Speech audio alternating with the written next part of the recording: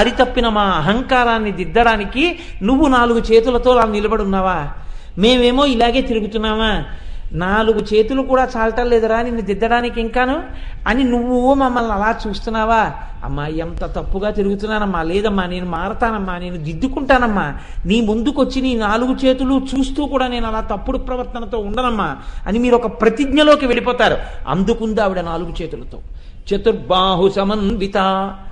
రాగస్వరూప పాషాఢ్య ఎలా దిద్దుతోంది నాలుగు బాహువులతో? అంటే ఆవిడ నాలుగు చేతులలో నాలుగు ఆయుధాలు పట్టుకుంది. ఇక్కడ మీరు ఒక విషయాన్ని చాలా జాగ్రత్తగా గమనించవలసి ఉంటుంది. ఈ ఆయుధములు అనేటటువంటివి ఏదో సరదాగా ఏది పడితే అది పట్టుకోవడం. ఈ ముట్టి చేతులతో ఏముంటామండి? అందుకని ఏదైనా పట్టుకుందామని ఏదో కనపడింది అలా తీసుకెళ్ళి చేతుల్లో పట్టుకుని ఉండరు దేవతలు. దేవతలు పట్టుకుంటే దాని వెనకాతల ఒక గంభీరమైనటువంటి అర్థం ఉంటుంది.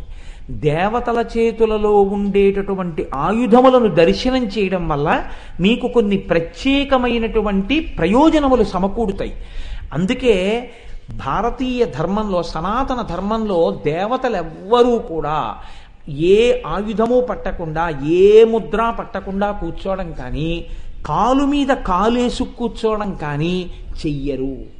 సనాతన ధర్మంలో బాగా తెలుసున్న వాళ్ళల్లా అవతార పురుషుల్లా నటించే కొందరు కూర్చున్న తీరు చూసినప్పుడు మీకు అర్థమైపోతుంది. ఏమీ తెలియదు వీడు ఒక పెద్ద నటుడు అని.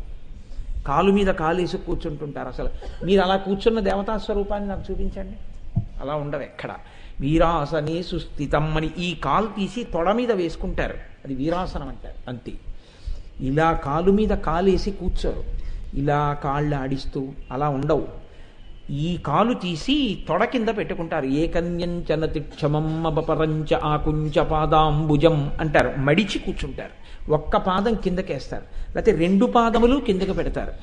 తప్ప అసలు ఏమీ పట్టుకోకుండా సనాతన ధర్మంలో దేవతలు ఉండరు.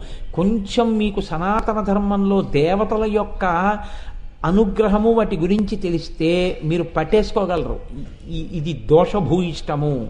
ఇది ఇలా ఉండకూడనిది అలా కనపడే ప్రయత్నం వీళ్ళు చేస్తున్నారు. ఆ స్థాయి అక్కడ వరకే తప్ప వాళ్ళు అనుకున్న స్థాయిలోది కాదని తెలిసిపోతుంది. కనుక చూడండి అమ్మవారి ఇప్పుడు నాలుగు చేతులలో నాలుగు ఆయుధాలు పట్టుకుంది. నాలుగు ఆయుధాలు పట్టుకోవడం ఆవిడ కోసం కాదు. నేను ఆయుధం పట్టుకున్నాను అనుకోండి నేను ఆయుధం పట్టుకుంటే నా కోసం. ఎప్పుడైనా జ్ఞాపకం పెట్టుకోండి. నేను ఒక కర్ర పట్టుకుని మార్నింగ్ వాక్ వెళ్తున్నాను అనుకోండి నన్ను ఎప్పుడో కుక్క తరిగిందని గుర్తు. లేకపోతే నాకు చాలా కావలసిన వ్యక్తిని ఎవరినో కుక్క తరిగింది ఆయన కోటేశ్వరారు ఇక్కడ కుక్కలు తిరుగుతున్నాయి అన్నారు కాబట్టి నేను కూడా ఓ కర్ర పట్టుకు తిరుగుతున్నట్టు గుర్తు. కదండి? అంతేకాని లోకాన్ని ఉద్ధరించడానికి ఆయన కర్రపట్టు తిరుగుతున్నారండి అనకూడదు. లోకాన్ని ఉద్ధరించడానికి కాదు కుక్కలను అనుగరవకుండా ఆ కర్ర. ఇంకొకరు ఉంటారు మహాపురుషుడు ఆయన పట్టుకుంటాడు సత్యదండం. సన్యాసి పట్టుకుంటారు. సన్యాసి సత్యదండం పట్టుకునేది అవైదికమైన వాదనలను ఖండించి వైదికమైనటువంటి మార్గాన్ని ప్రవర్తింప చేయడానికి చేతిలో సత్యదండం పట్టుకుంటారు. తప్పించి నేను ఆయుధం పట్టుకుని నేను గడలటు తిరుగుతున్నాను అనుకోండి ఎందుకు తిరుగుతున్నాను అంటే నేను సరదాగా పరశురాముళ్ళ ధర్మ ప్రతిష్టాపన చేద్దాం అనుకుంటున్నానంటే ఎవరు ఒప్పుకోరు తీసుకెళ్ళి ఎక్కడ పెట్టేస్తారు. అందుకని అలా ఏం కుదరదు. ఆయుధాలు ఏవి పడితే అవి ఎవరు పడితే వాళ్ళు పట్టుకోవడానికి ఏం ఉండదు. ఆయుధమును కలిగి ఉండడం చట్టంలో ఒక పెద్ద ప్రక్రియ. దానికి అనుమతితోనే మీ దగ్గర ఆయుధం ఉండాలి. అనుమతి లేకుండా ఆయుధం ఉంటే మళ్ళీ అదో పెద్ద కేసు. కానీ భగవన్మూర్తులు దేవతలు ఆయుధాలు పట్టుకుంటారు. ఆ ఆయుధాలు పట్టుకునేది అలవోకగా ఏదో సరదాగా పట్టుకోరు. ఆ పట్టుకోవడంలో మీ కొరకు పట్టుకుని ఉంటారు. వారి కొరకు కాదు వారిని వారు రక్షించుకోక్కర్లేదు వారు మిమ్మల్ని రక్షిస్తారు. సనాతన ధర్మంలో ఉండేటటువంటి దేవతలు భక్తుల చేతిలో చచ్చిపోరు. భక్తుల్ని రక్షించి భక్తిని పాడు చేయాలనుకున్న వాళ్ళని చంపుతారు. కాబట్టి ఇప్పుడు చేతిలో పట్టుకున్నటువంటి ఆయుధం రాగస్వరూప పాశాఢ్య అమ్మవారు పట్టుకున్నటువంటి ఆయుధం ఎడమ చేతి వేపు కింద ఉన్న చేతిలో నాలుగు చేతులు అంటే రెండు పైకి రెండు కిందకి కదండి ఉంటాయి. ఎడమ వేపు కింద ఉన్న చేతితో మొదలు పెడుతున్నారు వసిన్యాది దేవతలు. దేన్ని పట్టుకుని ఉన్నది? పాషాఢ్య ముందు అలా అనుకోండి పాశము ఒక పాశమును పట్టుకున్నది. పాశం అనగా ఏమి? అంటే దాని గురించి నేను పెద్ద వివరణ చేయక్కర్లేదు. కట్టడానికి ఉపయోగిస్తే పాశం అంటారు. మీరు చూడండి కుక్కల్ని పట్టుకుంటూ ఉంటారు. ఒక ఉచ్చులా వేసి దాన్ని ఇలా వేస్తే పరిగెడుతుంది. పరిగెడితే చాలా అదే బిగుసుకుంటుంది. మీరు బిగుసుకున్న తర్వాత ఏం చేస్తారంటే వాళ్ళు తన వేపుకి లాక్కుంటారు. చిత్రం ఏమిటో తెలుసా అండి? కుక్కకి తాడేసిన తర్వాత అది అటు పరిగెడుతుంది. బిగుసుకుంటుంది. బిగుసుకున్న తర్వాత కుక్క వీడి మీద కైబడింది అనుకోండి వీడు పరిగెత్తాడు. తాడు వదిలి. కానీ అదేం చేస్తుందంటే పరిగెత్తదు. బిగుసుకుంటున్న కొద్దీ మొరాయిస్తుంది. మొరాయించిన కొద్దీ వాడు లాగి గిర్ర గిర్ర గిర్ర గిర్ర ఆ పాశాన్ని ఆధారం చేసుకుంటాడు. ఇక విడదు. అది ఎంత లాక్కుంటే అంత బిగుసుకుంటుంది. గిర్రని తిప్పి కుక్కల బండి యొక్క గేటు పైకెత్తి గురి చూసి దాంట్లోకి వేస్తాడు. వేస్తే ఇది వెళ్ళి ఆ కుక్కల బండిలోకి పడుతుంది. తలుపేసేస్తాడు. ఇప్పుడు చేతిలో ఇనపవోచు ఉంటుంది. దాంతో మళ్ళీ ఆ బిగుసుకున్న తాడు వదులు చేసి దాని నుంచి లాగేసి మళ్ళీ చేతికి చుట్టుకుని మళ్ళీ వెళుతుంటాడు. ఈ కుక్క ఎలా పడిందో చూస్తుంది ఇంకో కుక్క. అది నేను వెనక్కి పరిగెత్తకుండా ముందుకు పరిగెడితే వీడు పరిగెడతాడని మాత్రం గ్రహించదు. ఎప్పుడూ అది కూడా పాశాలే వేసుకుంటుంది అలాగే. ఇదే మనం కూడా వేసుకునేదండి మన అందరం కూడా అది వేసుకునే పశువులం అయిపోయాం. మనం అంటే మీరు కాదు మీరు జ్ఞానులు మహాభక్తులు మీకు లేవు. నా వంటి వాడి గురించి చెప్తున్నాను. రాగస్వరూప పాశాఢ్య అమ్మవారు అంటోంది మీ మీద ఒక పాశం ఉంది రా అబ్బాయి. ఈ పాశమునకు మీరు కట్టబడి ఉన్నారు. గింజుకుంటున్నారు. ఎంత గింజుకుంటున్నారో అంత బిగుసుకుంటోంది. ఏమిటది? రాగము ఆ పాశం పేరు అంది అంతే అమ్మవారు. ఏమిటి రాగము? అంటే ఇది చాలా తమాషాగా ఉంటుంది ఈ మాట. కొంచెం పరిశీలనం చేస్తే మాత్రం అర్థం చేసుకోవలసినటువంటి విషయం అందుతుంది.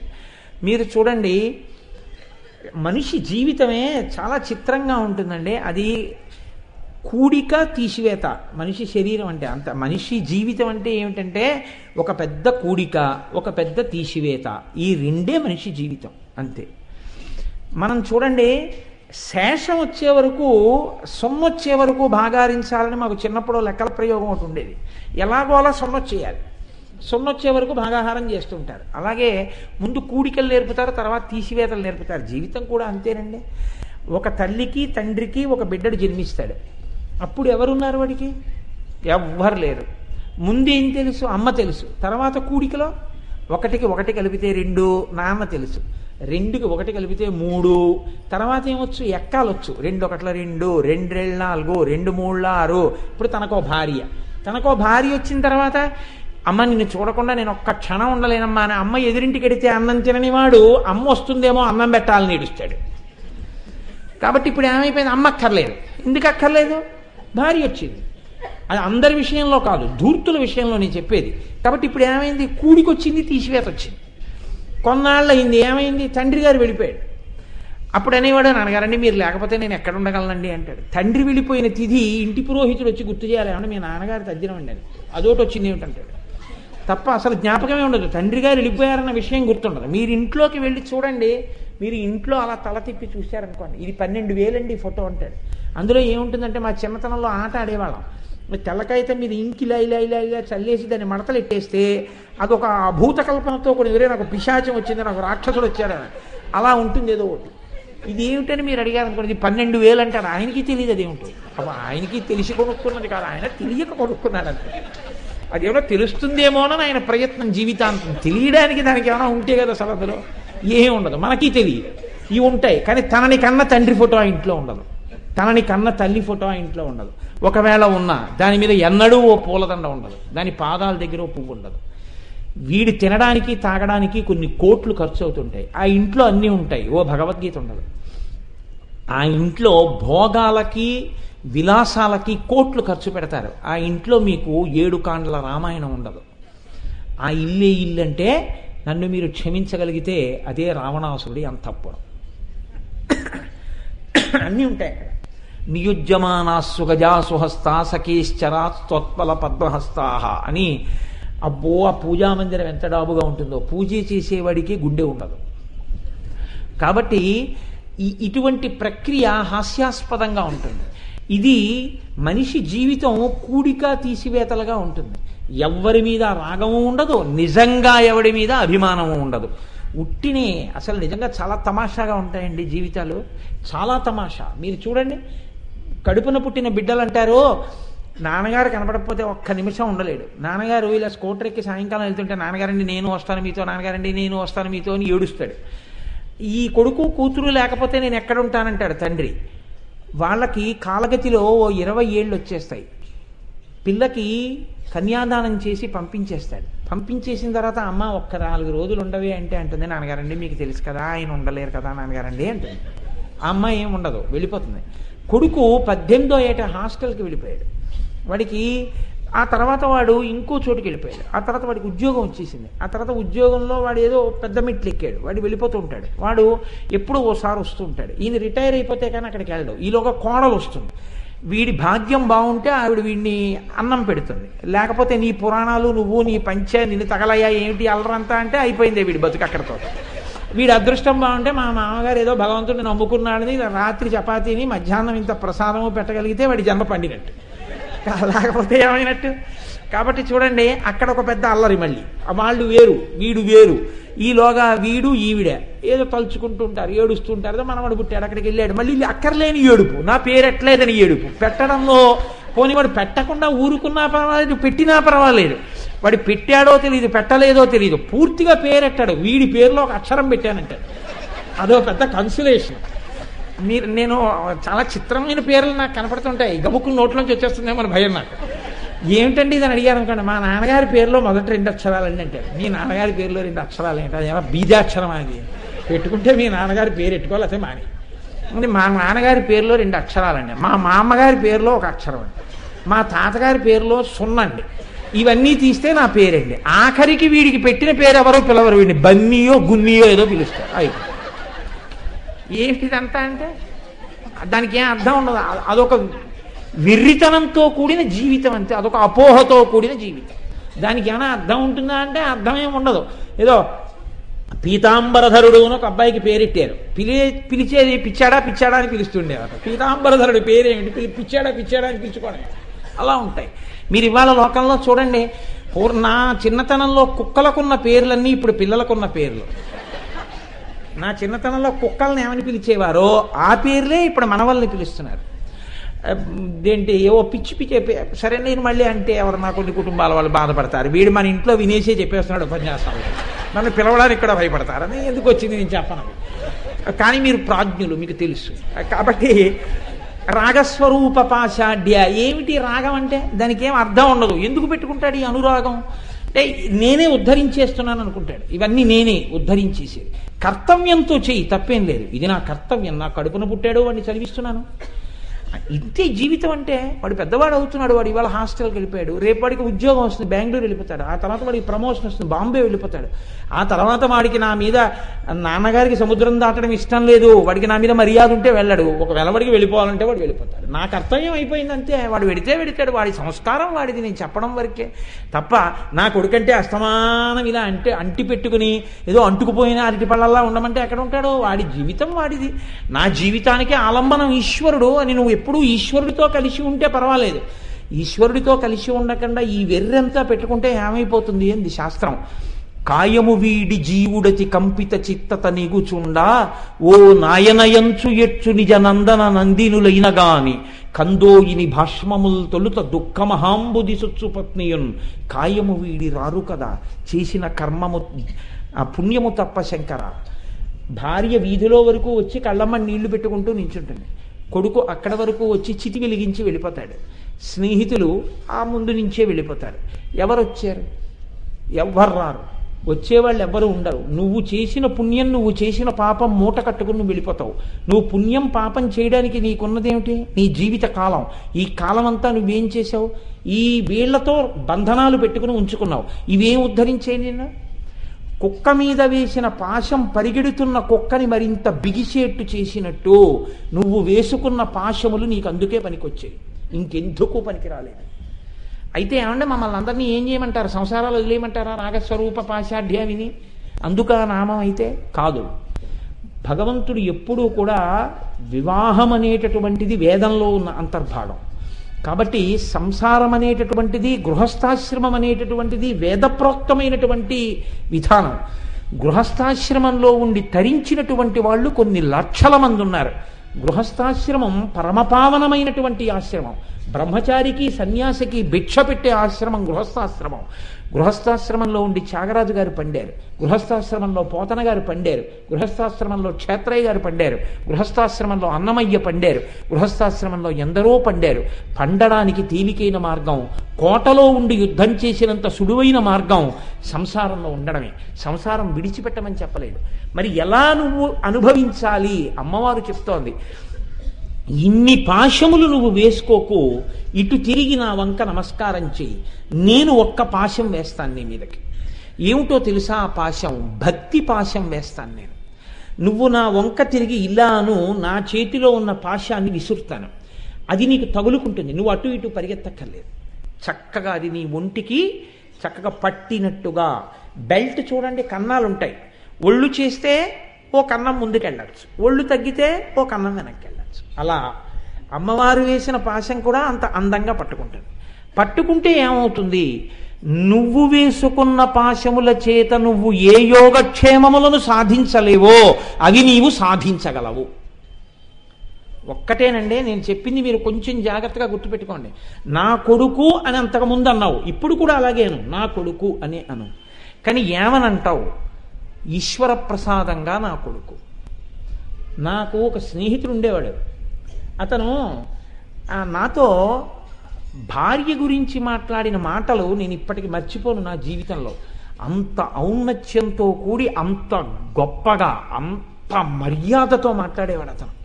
నేను అతని భార్య గురించి అంత గొప్పగా మాట్లాడుతుంటే నాకు అప్పటికి పెళ్ళవలేదు నేను కొత్తగా జాయిన్ అయ్యాను విశాఖపట్నంలో సర్వీస్లో. నేను అతనితో అన్నాను ఏమంటే మీరు మీ భార్య గారి గురించి అంత గొప్పగా చెప్తారు కదా చాలా గొప్ప విషయం ఇవన్నీ మీకు ఆవిడ చెప్తూ ఉంటారా? అని అడిగాను. అడిగితే అంటే ఇలా ఉండాలి ఇది విషయం అని మీకు బోధ చేస్తారా అండి? అని అడిగాను. అడిగితే ఆయన అన్నాడు కాదు కోటేశ్వరారు మనం భార్యని చూసే తీరు చేత మనం సంస్కరింపబడతా అన్నాడు. నేను ఆ మాట ఇప్పటికి మర్చిపోలేదండి. ఇప్పటికి మర్చిపోలేదు. నా భార్య నేను చెప్పినట్టు వినాలి అదెవరు లెక్కడగడానికి? అనుకుంటే మీకు ఆవిడ ఏ రకంగానూ మిమ్మల్ని ఉద్ధరించగలిగిన వ్యక్తి కాదు. నా జీవిత భాగస్వామి భగవంతుడు నాకు అనుగ్రహించినటువంటి ధర్మస్వరూపం నేను చేసే ప్రతి రూపాయ ఖర్చు కూడా ఈవిడికి చెప్తే చాలు ఈశ్వరుడికి చెప్పినట్టే అనుకుని అడిగినా అడగకపోయినా నాకు ఈ నెల పన్నెండు వేలు జీతం వచ్చిందో. ఇదిగో నా పే స్లిప్. నాకు ఇంత ఇన్కమ్ ట్యాక్స్ పోయింది ఇంత ఫెస్టివల్ అడ్వాన్స్ పోయింది. పన్నెండు వేలలో ఏమో నేను రెండు వందలు పర్సులో పెట్టుకుంటున్నాను పెట్రోల్ కొట్టించుకుంటున్నాను. ఏమో ఇవాళ పెళ్ళి కార్డు ఎవరో పట్టుకొచ్చి ఇచ్చారు ఆఫీసులో యాభై రూపాయలు వేసాను నూట యాభై ఉన్నాయి. ఎందుకు చెప్పడం? అంటే భార్యకి తొత్తైపోయి కాదు. భార్యని ధర్మస్వరూపంగా భావన చేసి చెప్పడం అలవాటు చేసుకున్నానయ్యా. మా ఆవిడ అడగలేదు నాకు లెక్క చెప్పమని. ఇలా చెప్తూ ఉంటే దీనివల్ల నా జీవితంలో ఏర్పడిన మర్యాద ఏమిటో తెలుసా? ఎప్పుడైనా తప్పు పనికి దేనికైనా ఒక రూపాయి ఖర్చు పెట్టాలంటే నేను నిజాయితీగా నా భార్యకి లెక్క ఎలా చెప్తాను అన్నది నన్ను ధర్మపథం నుంచి వైక్లభ్యం పొందకుండా కాపాడిందయా అన్నాడు ఏది భావన చూడండి నిజంగా. యద్భావం తద్భవతి. ఇంత గొప్పగా మీ భార్య ఎందు ఆ భావన మీకు ఎలా నిలబడుతుందని అడిగాను నేను. ఎప్పుడు అంత గౌరవంగా ఎలా చూడగలరు అంటే ఆయన అన్నాడు ఒక్కటే మాట చెప్పాడు ఈశ్వరుడు నాకు ప్రసాదించిన జీవితాంత నిచ్చెలి ఇదే నా భావన భార్య ఎందన్నాడు ఎంత పరమ పవిత్రమైన మాట అండి.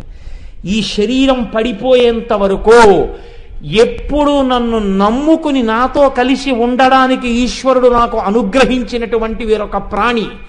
కనీసం ఆ ప్రాణి దగ్గర నేను అబద్ధాలు చెప్పకుండా నిజం చెప్పడం చేత కాకపోతే మనిషిగా బతకడానికి నాకు మినిమం మార్క్స్ కూడా లేనట్టే. అందుకే నా భార్య దగ్గర కనీసంలో కనీసం ఈశ్వరుడిచ్చిన నిచ్చెలిగా స్నేహితురాలిగా ఆమెతో నేను అబద్ధాలు ఎన్నడూ చెప్పను. ఇది నా ప్రతిజ్ఞ. ఇప్పుడు మీరు చూడండి ఈశ్వరుడిచ్చిన అన్న భావన కలగగానే ఆయన జీవితం మారిపోయింది. ఇప్పుడు ఆయన భార్యతో లేడా? ఉన్నాడు. వేరొకడు ఉంటాడు. ఈ భావన ఉండదు. ఏమండి నిన్న ఐదు వందలు పెట్టుకున్నారు ఇవాళ యాభై రూపాయలే ఉన్నాయేమి అని పొరపాటున అడిగింది అనుకోండి ఆవిడ ఎందుకో. ఇంతమంది స్నేహితులు ఉన్నారు ఇంట్లో ఇంతమంది ఉన్నారని ఉండదు. నోటికొచ్చినట్టు వదరుతాడు ఒక్కొక్కడు. భగవంతుడిచ్చినటువంటి ధర్మస్వరూపం నీ ధర్మార్థకామమోక్షములకు క్షేత్రం ఆవిడ. మహాతల్లి నీ వంశాన్ని పెంచింది. నువ్వు తింటున్న అన్నం ఆవిడ చేత్తో పెట్టావు. పెడుతోంది. వాకాటి పాండురంగారావు గారు అంటారు he who says thanks to his mother and wife is the biggest fool in this world అన్నాడు ఆయన. ఎవడు భార్యకి అమ్మకి థ్యాంక్స్ చెప్పాడో వాడికన్నా మూర్ఖుడి లోకంలో లేడు. ఎన్ని మాటలు థ్యాంక్స్ చెప్తే నీ భార్యకి నువ్వు కృతజ్ఞత చెప్పగలవు? ఎన్ని మాటలు థ్యాంక్స్ చెప్తే అమ్మకి థ్యాంక్స్ చెప్పగలవు? వాళ్ళిద్దరికీ నువ్వు థ్యాంక్స్ చెప్పలేవు. నీకు ఆ మర్యాద కలిగితే నీ జీవితం మారింది. ఈశ్వర ప్రసాదము నా భార్య అని నువ్వు అనుకో మారిపోయిందంతే జీవితం. ధర్మానికి కట్టుబడ్డం అలవాటైపోతుంది. నువ్వు నిష్కారణంగా నిందించడానికి ఇష్టపడవు. ఈమె భగవంతుడి చేత నాకు అనుగ్రహింపబడింది. ఈవిడ పట్ల నేను అమర్యాదతో ఉంటే భగవంతుడు చూస్తున్నాడు. ఈవిడ వలన పొందవలసిన ఎన్ని సుఖాలున్నాయో ఉత్తర జన్మల ఎందు అవి లేకుండా నాకు చేస్తే నా బతుకేమి?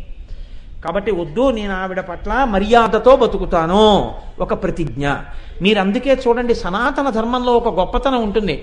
పిల్లల పేర్లు పెట్టేటప్పుడు ప్రసాదు ప్రసాదు అని ఒక మాట ఉంటుంది. దుర్గా ప్రసాద్ భవానీ ప్రసాద్ ఈశ్వర ప్రసాద్. ఇలా పేరు చివర ప్రసాద్ అని ఒకటి ఉంటుంది. ప్రసాద్ అన్నది ఏమిటో తెలుసా అండి? ప్రసాదము. వాళ్ళు మీరు చూడండి తల్లులు రెండు మాటలు వాడుతుంటారు లోకంలో. ఈ పిల్లాడు పెంటకుప్ప పెరిగినట్టు పెరగాలండి అంటారు. నాకు ఒక తల్లి ద్వారపూడిలో ఒక ఆవిడ తెలుసున్నవారు ఉండేవారు. ఆవిడ ఎప్పుడైనా మా ఇంటికి వస్తే చిన్నపిల్లల్ని చూసి ఆ రోజుల్లో మా చెల్లెలకి పిల్లలు పుట్టారు వాళ్ళు ఉండేవారు నా బిడ్డలు ఉండేవారు చిన్నపిల్లలు మా అక్కయ్య పిల్లలు ఉండేవారు. ఇలా పిల్లల్ని చూస్తే ఉరే నాయన పెంట కుప్ప పెరిగినట్టు పెరగరా అనేవారు. ఇటు ఇదేం ఆశీర్వచనం. ఈవిడ అందరినీ పెంట కుప్ప పెరిగినట్టు పెరగమంటారేమిటి అనుకునేవాడిని నేను. ఒకసారి ఉండబట్టలే ఆవిడ మహాతల్లి చాలా గొప్ప హృదయం కలిగిన ఆవిడ. ఆవిడని అడిగాను అమ్మ మీరు ఎందుచేత అలా ఆశీర్వచనం చేస్తుంటారు అని అడిగాను.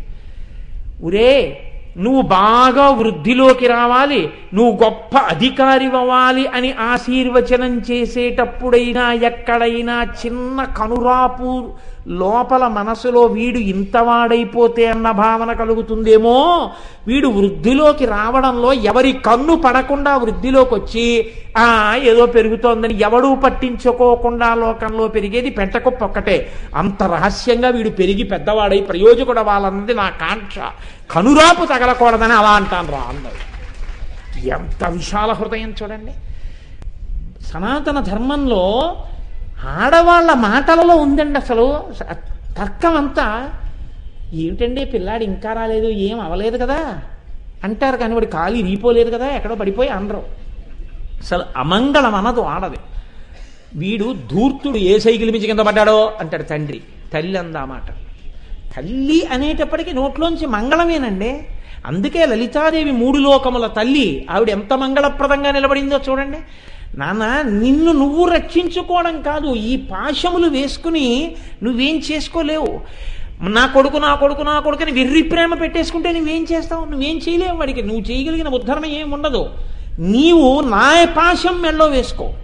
ఏమిటా పాశం? ఒక్కసారి తిరిగి నమస్కారం చేయి నేను వేస్తాను పాశం. ఇవి నువ్వు తగిల్చుకున్నవి. ఇవి నేను తగిలిస్తాను. ఇప్పుడు ఏమవుతుంది? చక్కగా ఇంట్లో ఉంటావు. చక్కగా సంసారంలో ఉంటావు. కానీ ఏమవుతుంది? కొడుకు భగవత్ ప్రసాదం అంటావు. కొడుకు మీరు చూడండి లోకంలో మనంత అమ మనంత అంటే మీరు కాదు. మళ్ళీ మళ్ళీ అలా అనుకుంటూ ఉండండి నేను మిమ్మల్ని అంటలేదు. నాబోటిగాడు ఉంటాడు. కొడుకు ఎంసెట్ రాయడానికి ఎడుతుంటాడు వెయ్యి దేవుళ్ళకి నమస్కారాలు ఎట్టి ఐదు బొట్లు ఎడతాం కొడుక్కి. ఆంజనేయ స్వామి బొట్టు దుర్గమ్మ తల్లి బొట్టు పార్వతీదేవి బొట్టు శివాలయంలో విభూతి అన్నీ వాడి లలాట నిండా పూసేసి వాడిని పరీక్షకి తీసుకెళ్ళి కూర్చోబెట్టి నాలుగు గుళ్ళన్నీ తిరిగి నమస్కారాలు ఎట్టి వస్తాడు వచ్చిన తర్వాత రేపే ఎంసెట్ ఫలితాలు అని వస్తాయి. ఎంసెట్ ఫలితం కనుక్కోవడానికి కంప్యూటర్ సెంటర్కి వెళ్తాడు. నంబర్ ఇస్తాడు టెన్షన్. వాడు మార్కులు తీసి వాడికే ఉంది ఏదొస్తే వాడికి? తీసి వాడు ఇస్తాడు. ఇలా చూశాడు. ఫోర్ డిజిట్సా త్రీ డిజిట్సా టూ డిజిట్సా ఏడు. అబ్బా! అంతే. మీరు చూడండి. ఎంసెట్కి పిల్లాన్ని పంపించే ముందు నువ్వు ఇంతమంది దేవాలయాలకు వెళ్ళావు ఒక్క రెండు అరటిపళ్ళు కొనుక్కొని ఇది జేబులో పెట్టుకుని దేవాలయానికి వెళ్ళి ఆ రెండరిటి పళ్ళు ఇచ్చి ఈశ్వర నువ్వు కృతార్థుణ్ణి చేసిన వాడివి అని ఎవరికైనా చెప్తాడా? ముందు సెల్ తీసి ఇలా ఇలా నొక్కి మా అబ్బాయికి ఏడో ర్యాంక్ కోయ్ ఎప్పుడు వెళ్తాడంటే గుడికి మూడు రోజులు పోయాక వెళ్తాడు. ర్యాంక్ రావాలంటే అన్ని గుళ్ళకి ముందెడతాడు. ఆఫీసుకు కూడా హాఫ్ డే సీఎల్ ఎట్టి ర్యాంక్ వచ్చాక ఊళ్ళో వాళ్ళందరికీ చెప్పి సెల్లో కార్డు అయిపోయిన తర్వాత ఇంకా మీ సెల్లో కాల్ చేయుటకు తగిలిన డబ్బు లేదు. రీఛార్జ్ చేయుడు అంటుంది. అన్న తర్వాత గుడికెడతాడు అది కూడా వెళ్ళే దారిలో ఉంటే. ఇది మనం మన భక్తి. అంత నిజాయితీగా ఉంటుంది మన భక్తి. కానీ నిజమైన భక్తి అంటే ఏమిటో తెలుసా అండి? ప్రతి దాన్ని ఈశ్వరుడితో అనుసంధానం చేయడం. మీ సింహాసనం దగ్గర మీరు చెప్పడం. అమ్మా నా కొడుకు పరీక్షకి వెళ్తున్నాడు. వాడి యొక్క మేధస్సు ఎందు ప్రచోదనం చేసి నువ్వు వాడిని కృప చెయ్యి. వాడు ఫోన్ చేసి నాన్నగారండి నాకు మంచి మార్కులు వచ్చాయి. ఉత్తర క్షణం పూజా మందిరంలోకి వెళ్ళి అమ్మా నీ అనుగ్రహం వాడికి మంచి మార్కులు వచ్చాయి. ఇలాగే వాడిని కృప చెయ్యి. అని బయటికి వచ్చి చెప్పు అందరికీ. ఇదొక్కటే మనం వదిలిపెడతాం. ఈ పాషన్ లేదు మిగిలిన వాడిని నీకు. అసలు పిల్లాడికి ఏడో ర్యాంక్ వచ్చింది అనగానే దెబ్బలాడుకునేది ఎవరో తెలుసా అండి? నా కొడుకంటే నా కొడుకని తల్లి తండ్రి. చిత్రంగా దానికి ఎవరు తీర్పు చెప్తారు? ఆ మీ పోలికలు వస్తే వచ్చం లేదు ఏడో ర్యాంక్. అంటుంది ఆవిడ. ఆ పెద్ద నీ పోలికలే వచ్చేలా నీ టెన్త్ మోడరేషన్లో బ్యాస్ అయినట్టు మీ నాన్న నాకు చెప్పేశారంట ఎందుకు వచ్చిందా అల్లరి? అంటే అసలు పడవలసిన పాశం పడలేదు. భక్తి అన్న పాశం పడితే సంసారము నిన్ను ఏమీ చెయ్యదు. ఏమీ చేయలేదు. రామకృష్ణ పరమహంస అంటారు పనసకాయని కొట్టి పనసకాయ ఒలిచేవాడికి ఇబ్బంది ఎప్పుడు? చేతులకి నూనె రాసుకోనప్పుడు. అన్నీ అంటుకుంటాయి. చేతులకి నూనె రాసుకొని ఎన్ని పనసకాయలు కొట్టినా నీ చేతికి ఏమీ అంటుకోదు. ఎందుకు అంటుకోదు? నూనె ఉంది చేతికి. భక్తిపాశం నీకు పడిన తర్వాత నువ్వు సంసారంలో ఉన్నా నీకు వచ్చే ఉపద్రవం ఏమీ లేదు. పైగా రక్షణ కలుగుతుంది. ఎందుకో తెలుసా అండి? వీడు రేపు వచ్చి అక్కడ చెప్తాడు సింహాసనం దగ్గర. వీడు వచ్చి మొత్తుకుంటే కాబట్టి ఈశ్వరుడు అడ్డుపడతాడు. వీడి భక్తికి ఇంట్లో ఉన్న వాళ్ళందరూ రక్షింపబడుతుంటారు. ఈ పాశమా నిన్ను కాపాడేది. నువ్వు వేసుకున్న పాశాలా కాపాడేది. కుక్కకి తగిలిన పాశాలకి కుక్క పరిగెత్తి రక్షించుకుందా? నువ్వు తగిలించుకున్న పాశాలతో పరిగెత్తి నువ్వు రక్షించుకుంటాననుకుంటున్నావా ఈశ్వరుడి వంక తిరిగి నమస్కారం చేయి. ఆ పాశం పడితే నువ్వు ఉద్ధరణ పొందుతావు. ఆ పాశం నీ మీద పడాలి. మిగిలిన పాశములు ఎన్ని పడినా యమపాశం ఎటువంటిదో అంతకన్నా దారుణమైన పాశములే మిగిలినవి.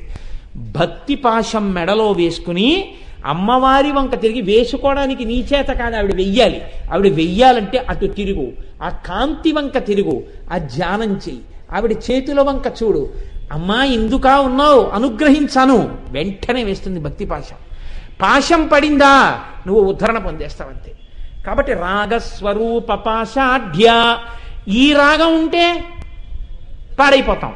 ఆ రాగం ఉంటే ఉద్ధరణ పొందుతాం. అమ్మవారి భక్తి అన్న రాగం పడితే ఉద్ధరణ.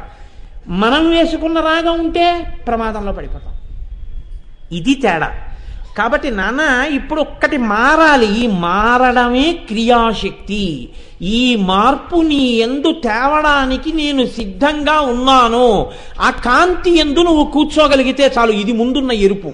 ఈ ఎరుపు తర్వాత చేతులు నీకు కనపడి ఈ మార్పు నీ ఎందు వస్తేనే తల కనపడుతుంది. లేకపోతే కనపడదు. అందుకే చేతులే చెప్తారు ముందు తర్వాత తల.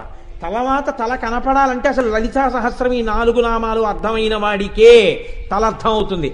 ఈ నాలుగు నామాలు అర్థం అవ్వడం అంటే జీవితంలో మార్పు వచ్చింది. ఈ మార్పు రాకపోతే వాడి జీవనయాత్ర ఎప్పటికీ అలాగే ఉంటుంది. వాడు బాగుపడలేడు కాబట్టి నాలుగు ముందు చెప్తే కానీ తల చెప్పలేదు వసిన్యాది దేవతలు. కాబట్టి రాగస్వరూప పాషాఢ్య క్రోధాకార అంకుశోజ్వల. అమ్మవారు కుడి చేతి వైపు ఉన్నటువంటి కింది చేతిలో క్రోధమనబడేటటువంటి అంకుశాన్ని పట్టుకుంది. ఇది చాలా గమ్మత్తైనటువంటి లక్షణం. ఈ చేతిలో ఉన్నదానికి ఈ చేతిలో ఉన్నదానికి ఏమీ తేడా లేదు. రెండు కవల పిల్లలు అక్క చెల్లెళ్ళు అన్నదమ్ములు. ఎంత చక్కగా పుడతాయంటే ఈ రెండు. భాగవతంలో ఒక అందమైనటువంటి విషయాన్ని ప్రతిపాదన చేస్తారు. జీవితం అనగా ఏమి అంటే వాళ్ళు ఈక్వేషన్ వేశారు. జీవితము ఈజ్ ఈక్వల్ టు నీవు కోరిన కోర్కెలు తీరినప్పుడు కలిగినటువంటి సుఖము. ప్లస్ నీ కోర్కెలు తీరనప్పుడు నువ్వు పొందిన దుఃఖము ఈజ్ ఈక్వల్ టు జీవితము. నువ్వు కోరిక కోరావు తీరింది సుఖం. నువ్వు కోరిక కోరావు తీరలేదు దుఃఖం.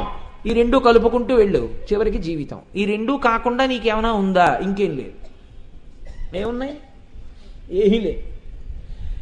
రెం అది రాగస్వరూపపాషాఢ్య దాన్ని ఏమంటుందంటే వేదాంతం హితశత్రువు అంటుంది. హితశత్రువు అంటే వాడు శత్రువులా ఉండడు.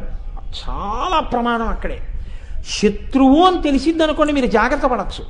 శత్రువు అని తెలియకుండా పరమ స్నేహితుడిలా ఉంటాడు పక్కన. మీరు చాలా స్నేహితుడు కదా అని నమ్మేస్తారు. నమ్మేసి మీరన్నీ ఆయనకి చెప్తారు. అన్నీ ఆయనకి చెప్పేసిన తర్వాత మిమ్మల్ని మోసం చేయడం చాలా తేలిక. మిమ్మల్ని మట్టు పెట్టడం చాలా తేలిక. హితశత్రువుని పట్టుకోవడం చాలా చాలా కష్టం. ఇంటి దొంగని ఈశ్వరుడు పట్టలేడంటారు. హితశత్రువు అంటే రాగం. ఇది చాలా సంతోషంగా ఉంటుంది. మా అబ్బాయి అనుకుంటే తప్పేమిటండి? ఆయన అలాగే చెప్తాడు ఏదో గుడ్డు చేయించుకుని అంటారు రాగము చాలా సంతోషంగా ఉంటుంది. మా ఆవిడ మా పిల్లలు మీరు చూడండి లోకంలో ఒక తమాషా అయిన మాట మాట్లాడతారు. నాది చాలా పెద్ద సర్కిల్ అండి అంటాడు. ఏమిటి సర్కిల్ ఎందుకు పనికి వస్తుంది ఎందుకు ఆ సర్కిల్ నీకు? సర్కిల్ అంటే అన్ని బంధనములు అని గుర్తు. అంత కాలము వృధా అయిపోతూ ఉంటుంది. అస్తమానం వచ్చేవాడు వెళ్ళేవాడు. మోగేశాలను ఎత్తే ల్యాండ్ ఫోను ఎందుకు? ఏమిటైంది? దానివల్ల ఏమీ ఉండదు. డైరీ తీయ డేట్లు చూడ ఇప్పుడు రాలేను అప్పుడు వస్తాను అంటుండా. ఒక్కనాడు ఓ పావు గంట పూజ లేదు ఓ ధ్యానం లేదు భ్రష్టుడు అయిపోవడానికి పనికొచ్చింది అంతే సర్కిల్ ఎందుకది? ఏకాంతంగా ఉండడం నేర్చుకో ప్రశాంతంగా ఉండడం నేర్చుకో. నేర్చుకుంటే దానివల్ల బాగుపడతావు ఈశ్వరుడి దగ్గర మనస్సు పెడితే. అస్తమానం. ఆయన ఇంటికి చాలామంది వస్తారని చెప్పుకోవడం క్రెడెన్షియల్ ఏం కాదు నీ జీవితం నీ సమయం పాడైపోతున్నాయి. నువ్వు అవసరమైతే తప్ప రాకండని చెప్పి నీ సమయాన్ని నువ్వు పదిలం చేసుకుని ఈశ్వరుడి వైపుకి తిప్పాలి. కాలాన్ని వెళ్ళిపోతే ఎలా వస్తుంది కాలం? ఇక రాదు మళ్ళీ రాదు ఇక. కాబట్టి రాగస్వరూపపాషాఢ్య ఇది హితశత్రువు. మీకు లోకంలో గమ్మత్తు ఏమిటో తెలుసా అండి? సైకియాట్రిస్టులు కూడా ఏం చెప్తారంటే కోరిక తీరినప్పుడు మనిషిలో ఎక్కువ శక్తి వ్యయమైపోతుంది. కోరిక తీరనప్పుడు కన్నా కోరిక తీరినప్పుడే ఎక్కువ శక్తి వ్యయమవుతుంది మనిషిలో నుంచి. అందుకే ఎక్కువ ఆనందం వచ్చినా హార్ట్ అటాక్ వస్తుంది ఎక్కువ దుఃఖం వచ్చినా హార్ట్ అటాక్ వస్తుంది. అదేంటంటే ఆనందం వల్ల హార్ట్ అటాక్ ఏమిటంటే హితశత్రువు రాగస్వరూప పపాస అప్పుడు చెప్పారు వసిన్యాది దేవతలు. మా వాడికి చాలా గొప్ప వచ్చేసింది అనుకున్న ప్రమాదమే. అప్పుడు ఇప్పుడు కూడా ఎప్పుడు ఒక్కలా ఉంటే అది ఈశ్వరానుగ్రహం అనగలిగితే నీ ప్రజ్ఞ ఉంది. ఇంకో నమస్కారం పెట్టడానికి అవకాశం దొరికింది అనుకోవాలంతే తీరకపోతే రెండు నమస్కారాలు పెట్టే అవకాశం వచ్చింది. తీరమని ఇంకోటి ఇప్పుడు తీరలేదని చెప్పుకోవడానికి ఒకటి. రెండు పెట్టే అవకాశం వచ్చింది అనుకోవాలి. కాబట్టి రాగము చేత హితశత్రువు. కోరిక తీరకపోతే నా కోరిక ఈశ్వరుడు తీర్చలేదు. అంటే బహుశా ఇది తీర్చకపోవడం వెనకాతల ఈశ్వరుడు నా క్షేమాన్ని చూస్తున్నాడు అని వాడు అనుకోడు. వాడు ఏమనుకుంటాడంటే నా కోరిక తీరలేదండి అని ఎందుకు తీరలేదో ఒక వ్యక్తిని వెతుక్కుంటాడు. ఈ కోరిక సమంజసమా? అసలు ముందు పరిశీలన చేయడు. సమంజసమైన కోరిక తీరకపోతే దాని మీద వచ్చిన కోపం ఉత్తమ కోపం. అప్పుడు వ్యవస్థని దిద్దడానికి వచ్చిన కోపం అది. అలా ఉండదు. వీడేదో కోరుకుంటాడు. ఆ కోరిక తీరలేదు. అంతే కోపం. మీరు చూడండి లోకంలో చాలా తమాషాగా ఉంటుందండి. అంతవరకు ఎందుకండి? మీకు ఇటువంటి వాళ్ళనందరినీ ఎక్కడ చూడొచ్చో తెలుసా? ఎక్కడ క్యూలో ఉండండి అంటారో అక్కడ మీకు వీళ్ళందరూ కనపడతారు. బ్యాంకుకి వెళ్ళి పాస్బుక్ అప్డేట్ చేయించుకునే కౌంటర్ ఒకటి ఉంటుంది. ఐదుగురు క్యూలో నించుంటే ఒకడు పొడుగు చెయ్యి ఉంది కదా అని అట్నుంచి వచ్చి ఇలా పెడతాడు. అంటే కనపడరా వీళ్ళందరి వాడికి? కనపడతారు. అంటే నాకు పెద్ద చెయ్యి ఉంది అక్కడి నుంచి నీకు అంత నాకు అందుతోంది వాడు తీసేసుకుంటాడు. అంతే. ఎక్కడికక్కడే అయిపోతే చాలు పని. అంతే. అవతల వాడి గురించి మనకు అందులో ఒక ఆయన ఏంటంటే మేము అందరం చేతకాక నించున్నాం ఏంటంటే అంటే ఆయన క్రోధం వచ్చింది వెంటనే. మీరు వెనక్కి నించోండి. మాకు తెలుసులేండి మీరు చెప్పక్కర్లేదు. అంటే మరి తెలిస్తే ఎందుకు నించో? అని ఇద్దరు జగడం పడ్డారనుకోండి కౌంటర్లో ఉన్నాయని మీరు మీరు తేల్చుకోండి అని కాఫీకి వెళ్ళిపోతాడు. అయిపోయింది. అంటే నేనేమి ఏ బ్యాంక్ని ఉద్దేశించి చెప్పట్లేదు మా ఉదాహరణ చెప్పానంటే మీరు అనురాధ గారు ఉన్నారు లాగా ఇక్కడ. కాబట్టి రాగస్వరూపపాషాఢ్య క్రోధాకార అంకుశోజ్వల రాగముతో ఉన్న గొడవ ఏమిటంటే ఏదో నావాడంటే అయిపోతుందండి. క్రోధంతో వచ్చిన గొడవ ఏమిటో తెలుసా? పరమ పవిత్రంగా ఉండవలసిన సమయంలో వాడికి ఇది గుర్తొస్తుంది. గుర్తొచ్చి వాడు సత్యనారాయణ వ్రతం పీటల మీద కూర్చుంటాడు. రాహుగ్రహం ఆవాహయామి స్థాపయామి పూజయామి అంటుంటాడు ఆయన. ఇక్కడ తామలపాకులు వక్కలు పెట్టండి అంటాడు. ఇంతలోకే వీడికి ఎవరో జ్ఞాపకానికి వస్తారు. వాడు నన్ను ఆ రోజున అన్నాడు రా మాట. సత్యనారాయణ వ్రతం చేసుకుంటున్నానంటే ఎంత మాట అన్నాడు ఏంటి నువ్వు కూడా సత్యనారాయణ వ్రతాలు చేస్తున్నావు ఏంటి? అన్నాడు. అంటే నేను చేసేవాళ్ళే కనపట్టలేదా వీడికి? అని ఇంకా మనసులో తలుచుకుని అసలు నేను ఎందుకు ఊరుకున్నాను? ఈ మాట కనపడిని వాడి పని చెప్తాను. ఈ మాట అని ఇలా కోపంతో ఇలా లాక్కుని ఇలా పెడుతుంటాడు భార్య దగ్గర. చదువుతున్న పురోహితుడికి అర్థం కాదు. ఇది రాహుగ్రహం మహాయామి స్థాపయామి పూజయామి అంటే ఇంత కోపం ఎందుకు దీనికి? అని. భార్యకి అర్థం కాదు. తమలపాకు ఒక్క ఎందుకు ముచ్చుకున్నాడో అంత కోపంగా. ఈ కోపం ఏమవుతుందంటే ఆవహిస్తుంది. ఆవహించి అక్కడ కాదు ఇక్కడ అంటాడు. ఆ మాట ముందు చెప్పాలి అంటాడు. ఆయన చల్లబోతాడు చేయించేవాడు. మీరు ఆలోచించండి ఎందుకని వస్తుంది ఇదంతా? నేను మీకు హేయమైన ఉదాహరణలు చెప్పారని మీరు అనుకోకండి. అంకుశ ఏనుగుని ఎక్కడ పొడుస్తారో తెలుసా అండి? ఇంత పవిత్రమైన ఏనుగు లక్ష్మీస్థానం దాని యొక్క కుంభస్థలం. దాని మీద కూర్చుని ఒక బక్క మామటివాడు అంకుశం స్మాల్ హిచ్లో ఉంటుంది. ఇలా ఉండి ఇలా ఉంటుంది. ఆ కిందకు ఉంటుంది ఇనప సూది లాంటిది. అది పెట్టి పొడుస్తూ ఉంటాడు. పొడుస్తుంటే తల బద్దలైపోయినంత పోటు వస్తుంది. ఇది ఎంత పొడుస్తాడంటే ఎప్పుడైనా ఇలా తిరగాలంటే ఏమండవు ఇలా పొడుస్తూ ఉంటాడు. ఆ పొడుస్తున్నప్పుడు అది పొందుతుంది బాధ. ఎంత బాధపడుతుందో. నీ క్రోధము నిన్ను అలాగే పొడుస్తుంది. అవతలవాడు బాగుపడ్డాడో లేదో నీకు అనవసరం. వాడేమి బాధపడ్డావు వాడు అనవలసిన మాటని వాడు వెళ్ళిపోయాడు. వాడు హాయిగా ఉన్నాడు ప్రశాంతంగా. వీడిని నిద్రపోడు. ఇటు తొల్లుతాడు అటు తొల్లుతాడు ఇటు తొల్లుతాడు అటు తొల్లుతాడు లేస్తాడు మంచినీళ్ళు తాగుతాడు బాత్రూమ్కి వెళ్తాడు. ఇలా కూర్చుని ఇలా ఇలా ఏమంటే పడుకోరేమండి అంటుంది భార్య. సరే నువ్వు పడుకున్నావు అనుకున్నాను కానీ వాడు అన్నాడు మూడు రోజుల క్రితం. ఇప్పుడు అది ఎందుకండి మళ్ళీ తెల్లవారు లలితా సహస్రం చెప్పాలి కదా. ఇప్పుడు అది ఎందుకు గుర్తొచ్చింది మీకు? మళ్ళీ రాత్రి పడుకోపోతే తెల్లవారు కట్ట అనుష్ఠానం అంటారు లేచిపోతారు నిద్ర సాలేదంటారు రేపు పొద్దున కళ్ళు మండుతున్నాయంటారు వేడి చేసిందంటారు గగ్గు వచ్చిందంటారు కంఠం పోయిందంటారు. ఇవన్నీ అంటారు మళ్ళీ అక్కడి నుంచి నేను మజ్జిగివ్వా సగుజావివ్వా నా ప్రాణం మీదకి ఎందుకు వచ్చింది? పడుకోండి అంటున్నాడు. నోర్మొయ్యి ఇదోటి నువ్వు నువ్వు దాని బయలుదేరో నాకు ఇంట్లో ఆ- ఆవిడ మీద లేస్తాడు. రయ్యమని. అంటే నువ్వు ఇవన్నీ చేస్తావా అని అనుకోకండి మహాప్రభు నేను ఏదో ఉదాహరణ చెప్పాను అంతే మీద పెట్టకూడదని. అంటే ఏం చేసింది? ప్రశాంతంగా పడుకొని ఇవ్వలేదు పొడిచింది మస్తిష్కాన్ని. అసలు నిన్ను అన్నవాడు వాడు హాయిగా నిద్రపోయాడు. అనిపించుకున్నవాడు గుర్తొచ్చుకుని పొడిపించుకుంటున్నాడు. అంటే వాడి అజ్ఞానం నాకేమిటంటే నీకు నిద్ర పట్టింది. అలా నువ్వు అనలేకపోయావు. పొడుస్తోంది. క్రోధం ఏమిటి? అంకుశంలా పొడుస్తుంది. నీకు అవతలవాడి మీద ఎంత కోపం ఉందో దానికి బాధ నువ్వు అనుభవిస్తున్నావు. నువ్వు క్షమించేయగలిగావు అనుకో వాడి కర్మ ఏముందండి? నా సాధ్యమైనంత సలహా చెప్తాను. నా సాధ్యమైనంత ప్ర- ప్రయత్నిస్తాను. మారితే మారుతారు. మారలేదనుకోండి నేనేం చేయగలను? చెప్పగలగడం తప్ప. నేనేం లలితాదేవిని కాను కదా నా కాంతితో మార్చడానికి. టీకే కానివ్వండి జరిగేది జరుగుతుంది అని చెప్పి మీరు ప్రశాంతంగా పడుకుంటే అనుకోండి నిద్ర పడుతుంది. మీకు ఉపద్రవం ఉండదు ఇతరులకు ఉపద్రవం ఉండదు మీ వల్ల. కానీ మీరు క్రోధానికి వశులైపోయారనుకోండి అది పొడి చేస్తుంటుంది మిమ్మల్ని. క్రోధాకార అంకుశోజ్వల ఇప్పుడు అమ్మవారి చేతిలో ఉన్న అంకుశం చూస్తే ఏమవుతుంది? వాడిలో ఒక మార్పు వస్తుంది. ఏమిటో తెలుసా అండి? ఇన్నాళ్ళు గొప్పగా చెప్పుకున్నాడు. నాకు కోపం వస్తేనండి అంటుంటాడు అస్తమానం. ఇప్పుడు అంటాడు ఏమిటండి నాకు ఈ దిక్కుమాల కోపం? అస్తమానం ఈ కోపం వచ్చేస్తుంది ఏమిటండి నాకు? ఈ కోపం రాకుండా నేను ప్రశాంతంగా ఉండలేనా? ఏమిటంటే నాకు ఈ కోపం అస్తమానం అయిన దానికి ఇది కాని దానికి కోప్పడతాను. నేను ప్రశాంతంగా ఉండడానికి నాకు బాబు ఏదైనా ఉపదేశం చేద్దరు ప్రశాంతంగా ఉండాలనుంది అంటాడు. అంటే ఇప్పుడు కోపం ఎవరి మీద? కోపం మీద కోపం. కోపం మీద కోపం నువ్వు మారడానికి మార్గం. ఇది ఎప్పుడు వస్తుంది? నిన్ను నువ్వు సంస్కరించుకోవాలి అనుకుంటే నీలోని బలహీనతలను నీవు గుర్తెరగడం ప్రారంభం చేసుకుంటే కోపం మీద కోపం. నేను మీకు ఒక ఉదాహరణ చెప్తాను. అందుకే బాల్యం అంత స్వచ్ఛంగా ఉంటుంది. నేను విశాఖపట్నంలో ఉద్యోగంలో జాయిన్ అయిన కొత్తల్లో మా ఇంటి పక్క వాటాలో ఓ చిన్న పిల్ల ఉండేది. ఆ పిల్ల ఏదో ఒకటో క్లాసు ఏదో చదువుతుండేది. ఆ పిల్ల ఏం చేసిందంటే పాల గ్లాసు పాలు తాగుతూ తాగుతూ పక పక పక పక నవ్వింది. ఏదో నవ్వడంలో పాల గ్లాసు కింద పడిపోయింది. కింద పడిపోతే పాలన్నీ వెలిగిపోయాయి. వాళ్ళ అమ్మగారు వస్తే ఏమిటివన్నీ? అన్నారు ఆవిడ అప్పుడే ఆవిడ స్కూల్ నుంచి వస్తున్నారు వాళ్ళ మామగారు పాలు ఇచ్చారు ఆవిడికి కించిత్ కోపం ఉండేది ఆ పిల్ల తల్లికి. ఏమిటివన్నీ? అన్నారు. అంటే నేనన్నాను పాలు ఉలికిపోయాయి అన్నారు. ఆ పిల్లంది పాలు వంపేసిన పిల్ల పాలు ఉలికిపోలేదు. అమ్మా నేనే వంపేశాను గ్లాస్ వదిలేసి అని నేను ఇప్పటికి మర్చిపోను. నా వయస్సు ఎందుకు పనికొచ్చిందంటే సమయానుకూలంగా అబద్ధం చెప్పడానికి పనికొచ్చింది. అంటే నా సంస్కారం అంతవరకే పెరిగింది ఆ రోజుల్లో. పాలు మీ పిల్ల వంపింది అని నేను చెప్తే సత్యం.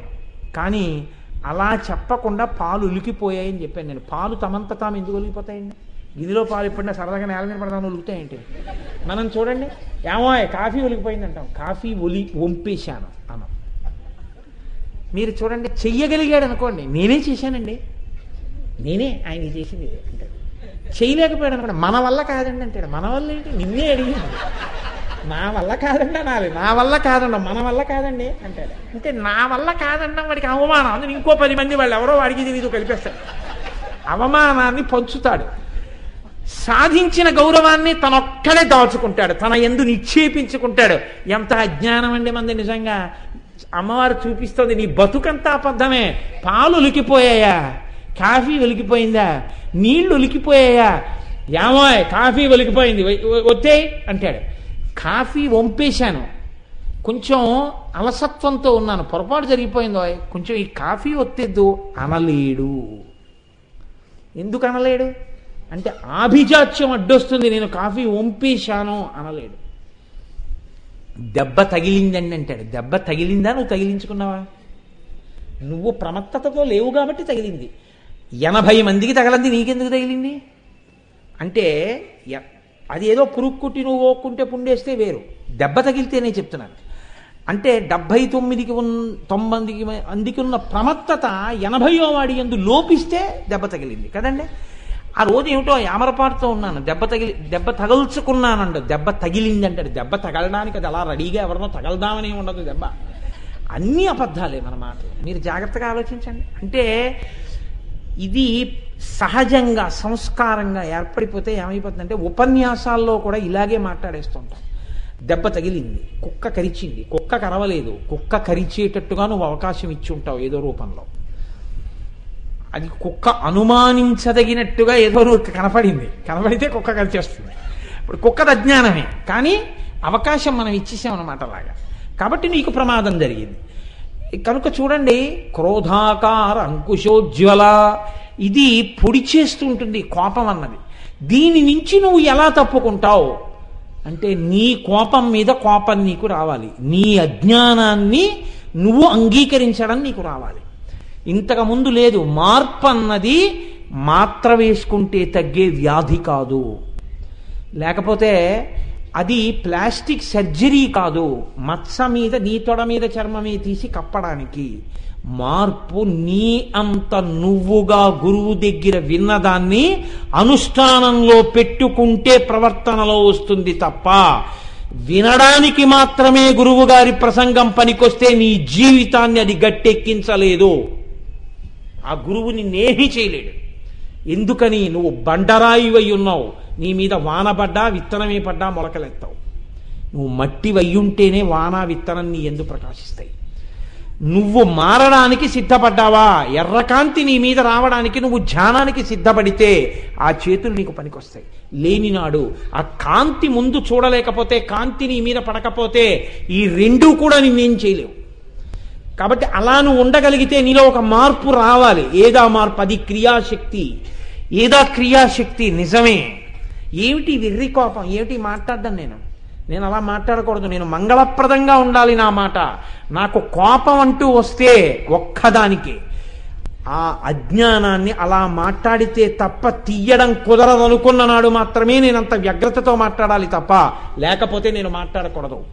ఈ పరిశీలన నీకు వస్తే నీ కోపం మీద కోపం నీకు ప్రారంభమైతే నీ బలహీనతల మీద కోపం నీకు ప్రారంభమైతే నువ్వు ధర్మాన్ని ఎక్కడ వదిలేస్తున్నావో అక్కడ నీకు కోపం ప్రారంభమైతే ఆ కోపము అమ్మవారి చేతిలో ఉన్న అంకుశాన్ని చూడడం వల్ల నీకు కలిగినటువంటి ఫలితము.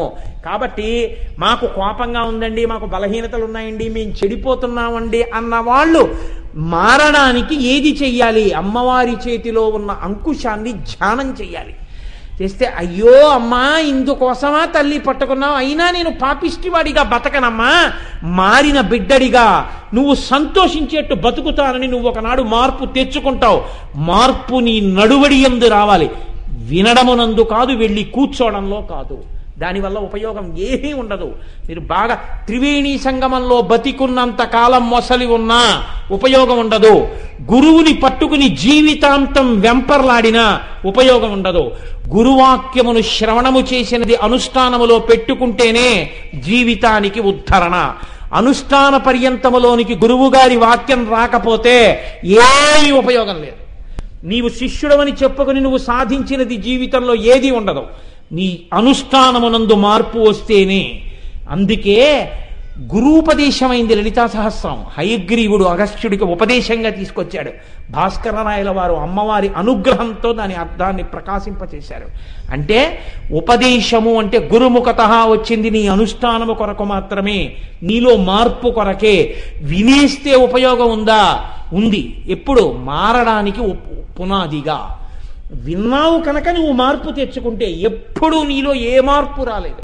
నీ కోపం మీద కోపం ఏం లేదు. అంతే సంతోషంగా ఉన్నావు నీ స్థితికి. అప్పుడు దానివల్ల ఉపయోగం ఉందా? లేదు.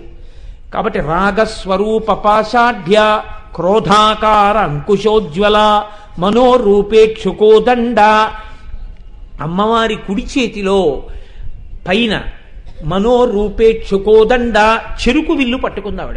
పుండ్రేక్షు అని ఎందుకంటారంటే పుండ్రములు అంటే నామములు పెట్టుకుంటారే అలా చెరుకు కర్ర మీద నామాలలా గీతలు ఉంటాయి అటువంటి చెరుకు విల్లు ఆవిడ పట్టుకుంది. ఈ చెరుకు విల్లు ఏది? నీ మనస్సే. మన మనస్సు సంకల్ప వికల్ప సంఘాతము. మనస్సు అనేది ఎప్పుడు నిద్రాణంగా ఒక్క సుషుప్తిలో తప్ప ఉండదు. అది ఎప్పుడు ఏదో ఆలోచిస్తూ ఉంటుంది. ఇది వదులుతుంది అది పట్టుకుంటుంది. అది వదులుతుంది ఇంకోటి పట్టుకుంటుంది. ఇది వదిలేస్తుంది అది పట్టుకుంటుంది. అందుకే శంకర భగవత్పాదులు మనస్సుని కోతితో పోల్చారు. సదామోహాటవ్యాం చరతి యువతీనాం కుచగిరౌ నటత్యాసా శాఖా స్వటతి ధడితి స్వైరమమిత కపాలిన్ బిక్షోమే హృదయ కపి మత్యంత చపలం. దృఢా భక్త్యా బధ్యావా శివభవదధీనం కురు విభో అంటారు. ఎప్పుడు మొహాటవిలో తిరుగుతూనే ఉంటుంది. ఎప్పుడు తనకి లేనిదేది ఇంకోటికి ఉన్నదేది అది తనదిగా అనుభవించడానికి ప్రయత్నం చేస్తుంటుంది. శరీరంతో అనుభవించలేనిది మనస్సుతో అనుభవించే ప్రయత్నం చేస్తుంటుంది. అంత దొంగ. అది ఎప్పుడు చెంచల స్వభావంతో తిరుగుతూనే ఉంటుంది. పైకొకటి లోపలొకటి. పైకొకటి లోపలొకటి. ఎప్పుడూ త్రికరణ శుద్ధితో ఉండదు. వెడుతుంది కూర్చుంటుంది. మంచి పని చేస్తున్నట్టు ఉంటుంది. కానీ లేచి వెళ్ళిపోతుంది ఇంకో చోటికి. ఎంత చిత్రం చూడండి. పూజ చేయడానికి ఎడతాడు. పూజలో చేతికి అలవాటు చేసేస్తుంది. పువ్వులు వేసేయి మనసు ఇంకో చోటుకి వెళ్ళిపోతుంది. వెడతాడు కూర్చుంటాడు ఉపన్యాసం వినడానికి కూర్చుంటాడు. అలా అంటుంటే చూసిన వాళ్ళందరూ ఎంత బాగా వింటున్నాడో అనుకుంటాడు. ఈయన ఇలా తల రేపు పొద్దున్న అబ్బాయి దగ్గరికి వెళ్ళినప్పుడు ఇలా మాట్లాడితే అని తల పంకిస్తుంటాడు. అంటే శరీరం ఇక్కడుంది మనస్సు ఇంకో చోటుకి వెళ్ళిపోయింది. మనస్సు ఉండదు చెంచలము అస్తమానం కదులుతుంది. కదిలిపోతున్న మనస్సు ఎప్పుడూ దీన్ని పట్టుకుంటుంది. దీనికి ఏది సుఖం అంటుందో దాన్నే పట్టుకుంటుంది. దీనికి దుఃఖం అన్నదాన్నది పట్టుకునే ప్రయత్నం చెయ్యనే చెయ్యదు మీరు గుర్తుపెట్టుకోండి. ఏమయ్యా ఒక తొమ్మిది రోజులు సుందరకాండ పారాయణ చేసుకుంటాం ఏంటి? అన్నాం అనుకోండి. లోపల అనగానే అంటుంది తొమ్మిది రోజులు సుందరకాండ. తొమ్మిది రోజులు సుందరకాండ అంటే తొమ్మిది రోజులు నైవేద్యాలు? అంటే ముందు ఏవి ఇబ్బందులో వాటిని చెప్పడం మొదలెడుతుంది తొమ్మిది రోజులు దీక్ష తొమ్మిది రోజులు భూచయనం అసలే హేమంత ఋతువు పుష్యమాసం నేల చూస్తే చల్లగా ఉంటుంది మనం చూస్తే మార్బులు వేయించుకున్నాం మరింత ఐస్లా ఉంటుంది. దీని మీద రొజాయి వేసుకు పడుకున్నా కూడా రాత్రి అయ్యేటప్పటికి చల్లబడిపోతుంది. అక్కడి నుంచి ఆరో రోజుకు పడిశం పట్టేస్తే పడిశం సైనోసిస్ అయిపోతే సైనోసిస్కి ఈఎన్టీ కెడితే ఈఎన్టీ ఆయన ఈసారి ముక్కు పంచర్ చేసేస్తానంటే సుందరకాండ అయ్యే లోపలే పంచర్ చేయించుకోవలసి వస్తే ఈలోగా అలా చేయించుకోవచ్చు చేయించుకోకూడదు కోటేశ్వరాన్ని అడుగుదామంటే నేను ఇప్పుడు ఇంట్లో పూజ చేసుకుంటున్నాను ఇంటికి రావద్దని వాడంటే ఎలా ఇవన్నీ? కాబట్టి ఇప్పుడు వదిలే తర్వాత చూద్దాం వేసంకాలం వచ్చాక వదిలేసి. మీరు చూడండి అల్లేస్తుంది అంతే అలా అల్లిక. ఎంతంత కథలు అల్లుతుందో ఈశ్వరుడి వేపో వద్దు. ఏమంటే వెంకటాచలం పెడదామా? అబ్బా హస్తమానం పెడుతున్నాం కదండి ఊటీ పెడదాం ఏంటి ఈసారి ఎందుకు? ఈ ఈ- ఈ ఉన్న చల్లతనాలు చాలలేదేండి నీకు? ఏం చేస్తావు అక్కడికి వెళ్ళి అంటే భౌతిక సుఖం కావాలి.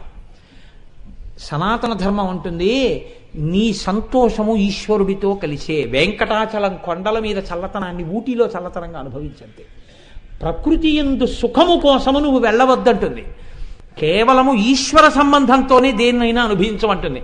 మన మనస్సేమంటుంది ఎప్పుడు మనకేముంది? ఏది లేదు. ఏది లేదో దానికోసం ఏడుస్తుంది. ఏది ఉందో అసలు దాని గురించి పట్టించుకోదు. అంటే నేను అలా అన్నానని అనుకోకండి. ఎంత తమాషాగా అన్నాడండి ఆయన?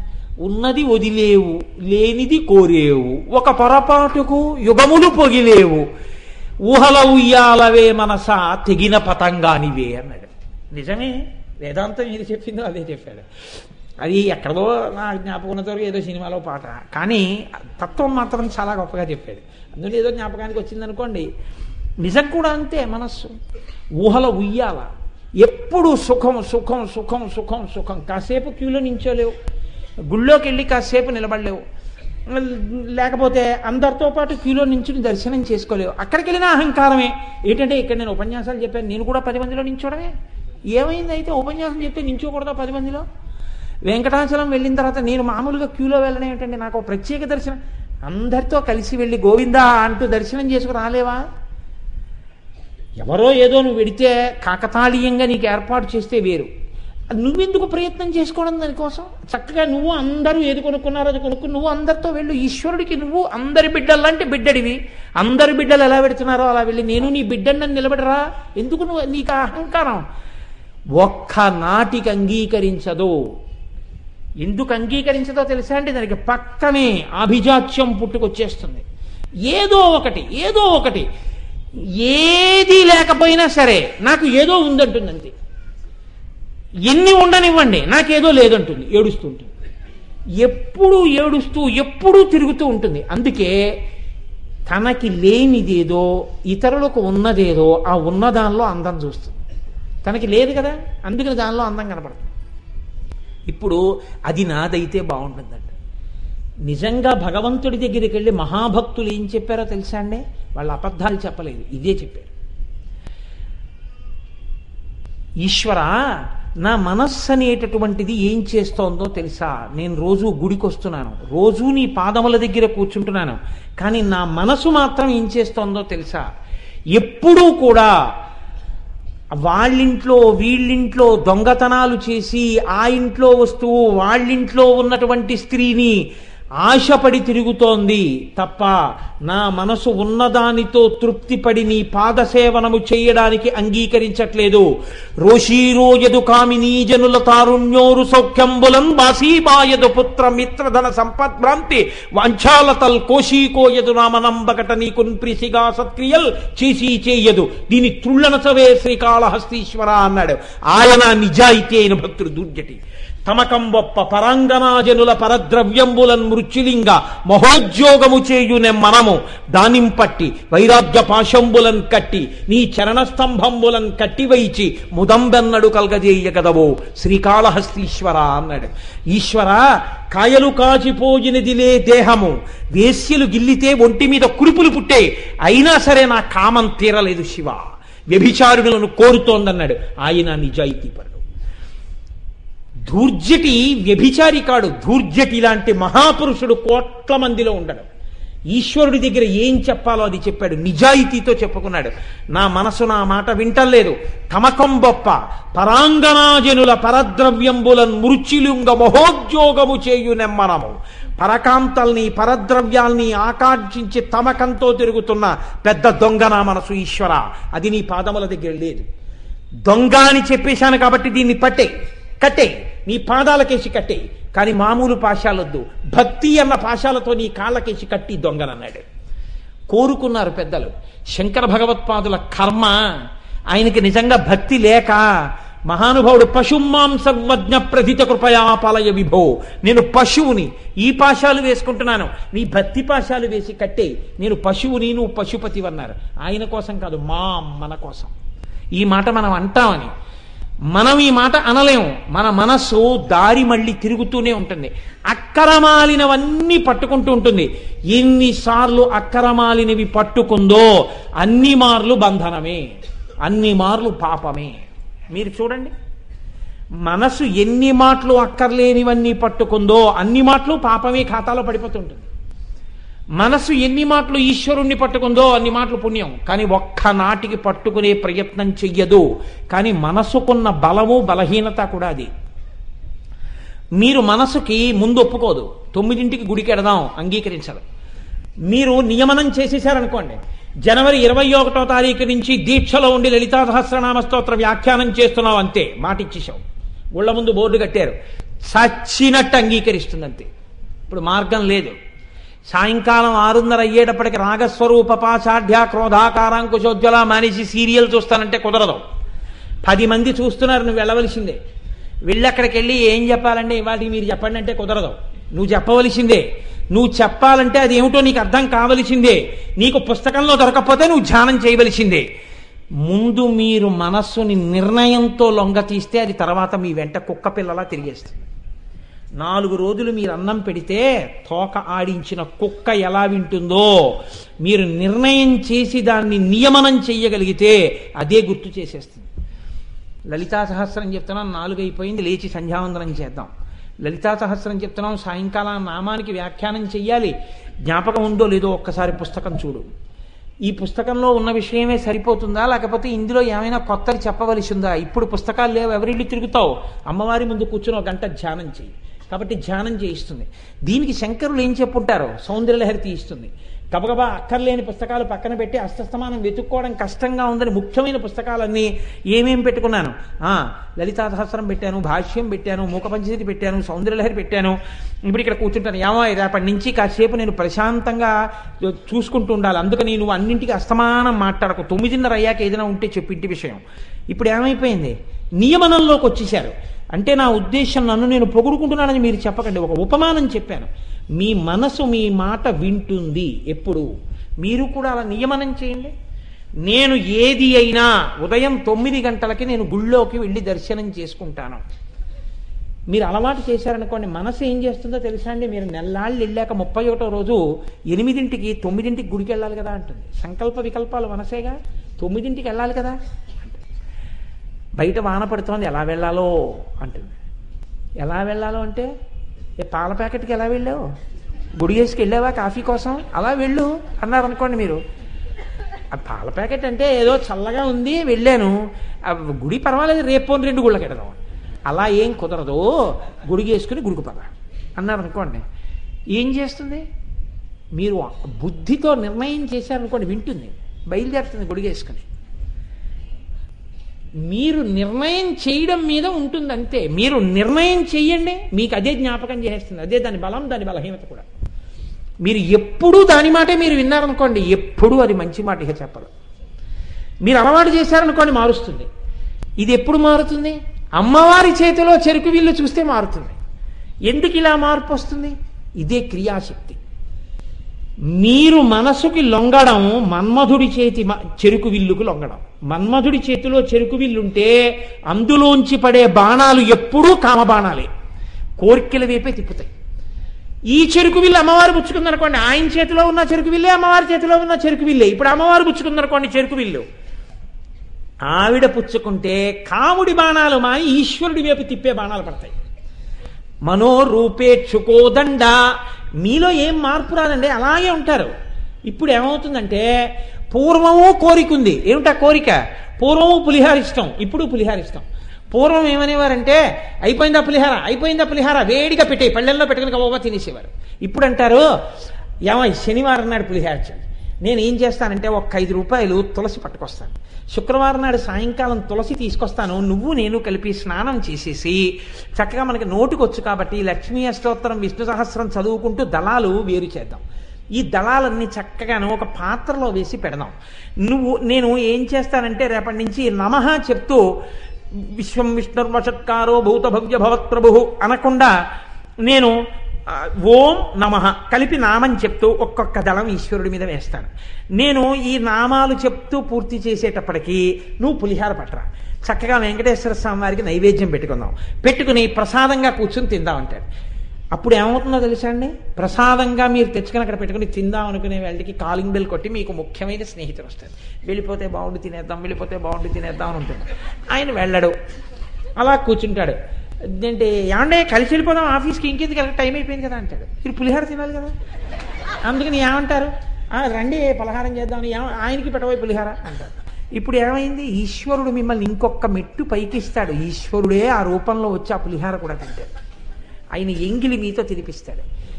ఒక నాలుగు శనివారాలు అలా చేశాక అనిపిస్తుంది పూజ అయ్యి పూర్తి చేసి చక్ర పొంగల్ నైవేద్యం పెట్టేవాళ్ళకి ఎవరైనా వస్తే బాగుండు ఏ మహాత్ముడో కలిసి తిందామనిపిస్తుంది ఇలా మీరు బయటికి వచ్చేటప్పటికి కాలింగ్ బెల్ కొట్టి మీ ఇంట్లో పనిపిల్ల చెల్లెలు ఇవాళ మా ప- మా అక్కకు ఒంట్లో బాగోలేదండి అని చెప్పడానికి వచ్చింది అనుకోండి ఓ మా అమ్మ ఇలా వచ్చింది ఉండవే ఒకసారి ఆగు అని ఆ చక్ర పొంగలు కొంచెం తీసి పట్టుకెళ్ళు మీ అక్కకి అని దాని చేతిలో పెట్టి తర్వాత మీరు తింటారు. ఇప్పుడు ఒకళ్ళకి పెట్టి తినడం అంటే మీకు తృప్తి. ఎదుగుతున్నారా లేదా చెప్పండి. అప్పుడు తిన్నారు పులిహార ఇప్పుడు తిన్నారు పులిహార అప్పుడు తిన్నారు చక్ర పొంగలి ఇప్పుడు తిన్నారు చక్ర పొంగలి. కానీ తినడంలో తేడా ఎంత వచ్చింది ఇది అమ్మవారి చేతిలో చెరుకు విల్లు. ఇంతకుముందు మీరు తిన్నది మన్మధుడి చేతిలో చెరుకు విల్లు. ఇప్పుడు ఏది మారుతోంది? మనసు మారుతోంది. ఈ మారడం క్రియాశక్తి. ఇది ఎప్పుడు వచ్చింది? ఎర్రకాంతి మీ మీద పడితే. ఆ ఎర్రకాంతి పడితే తప్ప ఈ నాలుగు కదలవు. ఈ నాలుగు కదిలితే కానీ చేతులు కనపడవు. కనపడితే తప్ప ఆయుధాలు కనపడవు. ఆయుధాలు కనపడితే తప్ప మీలో మార్పు రాదు. మార్పు వస్తే తప్ప క్రియ జరగలేదు. మనోరూపేక్షుకోదండ పంచతన్మాత్రశాయక. అమ్మవారు కుడివైపు పై చేతిలో ఐదు బాణములు పట్టుకుంది. ఐదు పుష్ప బాణాలే అరవిందము అశోకము కూటము నవమల్లికము నీలోత్పలము. మన్మధుడు పట్టుకున్నావే అమ్మవారు పట్టుకున్నావే. ఐదు పువ్వులే. ఇప్పుడు అమ్మవారు ఐదు పువ్వులు పట్టుకుంది. ఏమిటి ఐదు పువ్వులు? ఐదు తన్మాత్రలు. ఐదు తన్మాత్రలు ఏమిటి? శబ్దస్పర్శ రసరూప గంధములు. ఇలా నేను ఏదో పెద్ద శబ్దస్పర్శ రసరూప గంధములు అనేటప్పటికి బాబో ఇవన్నీ ఏమిటో? అనుకోకండి. ఇవన్నీ ఏమిటో తెలుసా అండి? ఒక ఊళ్ళో ఒక ఆయన ఉండేవాట. ఆ ఊరి పేరు ఏమిటండి మీ పే ఊరి పేరు? అని అడిగారు అనుకోండి. నక్క నక్కగోతుల అగ్రహారం అని పేరు దానికి. నక్కగోతుల అగ్రహారంలో ఉంటున్నామండి నక్కగోతుల అగ్రహారంలో ఉంటున్నామండి అని. ఒకసారి ఈయన ఏం చేశాడంటే పెళ్ళి మాటల కోసమని ఈ ఊరి నుంచి ఇంకో ఊరు వెళ్ళాడు. ఆ ఊళ్ళో వెడితే ఆ ఊళ్ళో ఏదో మంచి సంబంధం కలిసి వచ్చింది. వాళ్ళు మీరు ఏ ఊళ్ళో ఉంటున్నారు? అని అడిగారు. నక్కగోతుల అగ్రహారం అంటే వీళ్ళు వీడు నక్క చిత్తులు లాంటి వాడేమో అలాంటి ఊళ్ళో ఉన్నాడంటే అనుకుంటారేమో అని ఆయన అన్నాడు జంబుకారంధ్ర అగ్రహారం అన్నాడు. అంటే వాళ్ళు, అబ్బా ఎంత గొప్ప అగ్రహారం అండి? అంటే బాగా వేదం చదువుకున్న వాళ్ళు ఉంటారేమో అక్కడ. అవునండి. చాలా మహాపురుషులు అందరూ ఉంటారు. అందుకనే దానికి అటువంటి పేరు వచ్చింది. జంబుకారంధ్ర అగ్రహారం ఇదేంటి? పెళ్ళి కుదిరిపోయింది అంతా అయిపోయింది. ఓసారి మీ ఊరు వద్దాం అనుకుంటున్నామండి. రండి తప్పకుండాను. ఎక్కడ మీ ఊరు? ఏం లేదండి. కాకినాడ వచ్చేసి కాకినాడ నుంచి మీరు బస్సు చూస్తే ఏదో ఫలానా చోటుకి వెళ్ళే బస్సు ఉంటుంది. కండక్టర్ని అడగండి ఎక్కించుకుంటాడు కండక్టర్ దగ్గరికి వెళ్ళి అంటే జంబుకారంధ్ర అగ్రహారం ఆ ఊరి బస్సు ఎప్పుడు వెళ్ళలేదన్నాడు. అందులో సంస్కృత పండితుడు కూర్చున్నాడు. ఆయన అన్నాడు ఏ ఊరు? అన్నాడు. జంబుకారంధ్ర అగ్రహారం అన్నాడు. ఎవరి కోసం? అన్నాడు. బలానా ఆయన కోసం. ఓహో పెళ్ళి కుదిరింది ఈ మధ్య మీ వాళ్ళతో నేనేంటి ఆయన నవ్వుకున్నాడు. ఇలా చెప్పాడనమాట. జంబుకం అంటే నక్క రంధ్రం అంటే గొయ్యి. నక్క గోతుల అగ్రహారం అనండి ఈ బస్సు ఎడుతుందన్నాడు. జంబుకారంధ్ర అగ్రహారమే నక్కగోతుల అగ్రహారం. మనం రోజు అనుభవిస్తున్న తన్మాత్రలే శబ్ద స్పర్శ స్వరూప గంధములు. అవి ఆ పేరుతో చెప్తే ఏమిటో అనుకుంటాం. అవే మనం రోజు అనుభవిస్తున్న సుఖాలు. అవే అమ్మవారు పట్టుకున్న ఐదు బాణాలు. చూడండి ఈ ఐదు బాణాలే శబ్ద. అంటే ఐదు ఇంద్రియములు ఉంటాయి మనకి జ్ఞానేంద్రియములు. కన్ను ముక్కు చెవి నాలుక చర్మము. ఈ ఐదు ఉంటే ఏం కాదు. ఈ ఐదింటితో ఐదు తన్మాత్రలు ఉంటాయి. ఇవి బ్రహ్మాండ పిండాండ అనుసంధానం చేస్తుంటాయి. చాలా తేలికండి. మీరు ఇట్టే పట్టేసుకుంటారు. ఇవి నువ్వు చెప్పడం ఎందుకంటే మాకు తెలిసి ఇవన్నీ అంటారు అసలు. శబ్ద అదొక తన్మాత్ర. శబ్దము. ఏది గ్రహిస్తుంది? కాళ్ళు చేతులు గ్రహించవు చెవి గ్రహిస్తుంది. శబ్దము చెవి పట్టుకుంటుంది. శబ్దము చెవి పట్టుకుంటుంది చెవికి సంబంధించినటువంటి ఈ శబ్దమన్న తన్మాత్ర వాయువుకి సంబంధించింది. బ్రహ్మాండంలో వాయువులో ఈ శబ్దం తిరుగుతుంది. ఇప్పుడు నేను చెప్పినటువంటి శబ్దం మీరు ఇలా ఇలా క్యాచ్లు పట్టక్కర్లేదు వాయువులో వచ్చేస్తుంది అంతే వాయువునకు సంబంధించిన తన్మాత్ర శబ్దము. ఇది గ్రహించేది శరీరంలో చెవి. అలాగే బయట ఏముంటుంది? కాంతి శబ్ద స్పర్శ రస రూప. రూపము ఎలా తెలుస్తుంది? కంటి చేత. కన్ను అగ్నికి సంబంధించినటువంటి